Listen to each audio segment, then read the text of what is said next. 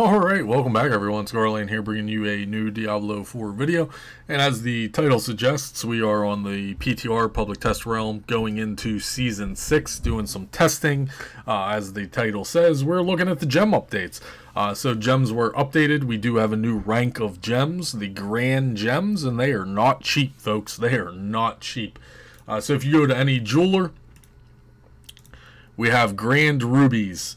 Uh, you will have to get to level 60 and they cost a lot. Uh, they cost 10 million gold, but more importantly, they cost a hundred thousand fragments. Uh, now, as it sits on the live servers, um, gem fragments are not that big of a deal. Uh, you're literally spamming uh, infernal hordes for the material chest for the masterworking materials. Uh, and you're getting just loads of gem materials out of that too. Now, whether that all stays the same going into season six, we don't know that for sure. Um, on live right now, Infernal Hordes is the best farming spot for you know gear, gem fragments, masterwork materials. It's just the go-to place. It's the farming uh, cesspool right now. Um, I'm you know sick of doing Infernal Hordes myself, to be honest. Uh, but going forward into season six, I don't know if that's going to be the case. I don't know if uh, you know those chests in there are going to get nerfed. Um, but a hundred thousand uh, gem fragments to make one grand gem. Again, you got to be level 60. Uh, 10 million gold per gem as well. So let's go ahead and look at the updates. Uh, they removed HP. HP is no longer a thing. I disagree with it, but hey, it is what it is. So we have the Grand Ruby. So in the weapon, it stayed the same. It's 90% overpowered damage now. Now, instead of HP, uh, if you put it in your armor, it's 150 strength. Uh, so the jeweler jewelry, it's 60% fire resistance. So what's the difference here? What's the the the upgrade of this? So the royal ruby is 10,000, right? 10,000 fragments and it's only 1 million gold. I don't see the benefit of only a 50 stat increase a royal ruby gives you a hundred strength. So increasing everything ten times, ten thousand to a hundred thousand, one million gold to ten million gold.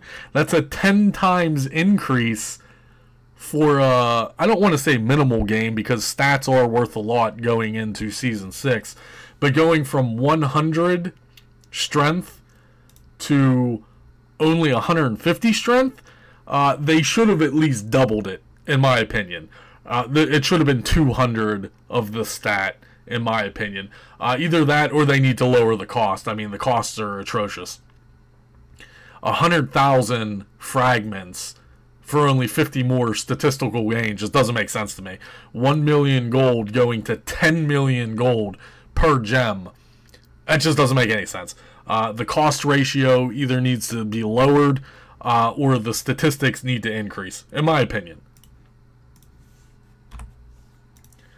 So looking at the Amethyst, uh, it's 48% damage over time. Uh, in the armor, it now gives 12% barrier generation and then shadow resistance in your jewelry. The Emerald is critical strike damage, 150 dexterity, 60% poison.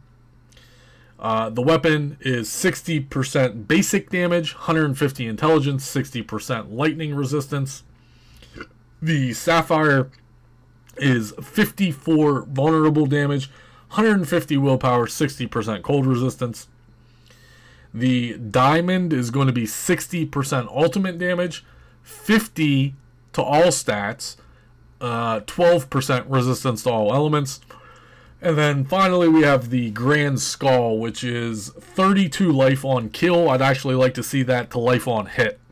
Uh, most builds don't care about life on kill. Life on hit is substantially better, especially like when you're using something like uh, Adriana's, uh, or I'm sorry, Andariel's uh, Visage that has life on hit.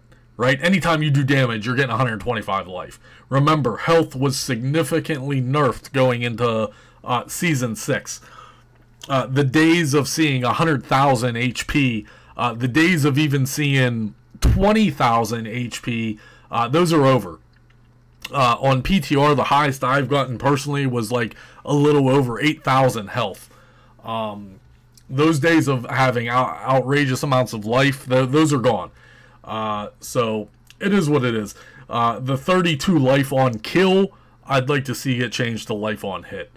Uh, if you put it in your armor, it's 15% healing received, and then in jewelry, it's 240 armor.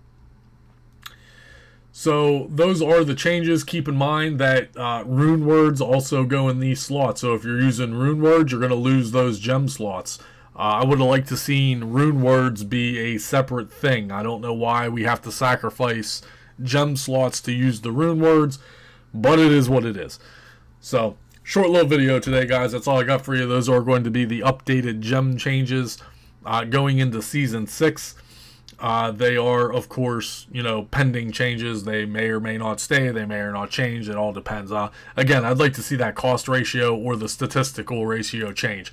Uh, because going from a royal gem to a grand gem just doesn't make sense. The price ratio versus statistical bonus that you're getting uh, needs to be better balanced, in my opinion. That's all I got for you folks. You enjoyed the video, go ahead and leave me a comment question, concern below. I'll see you guys real soon.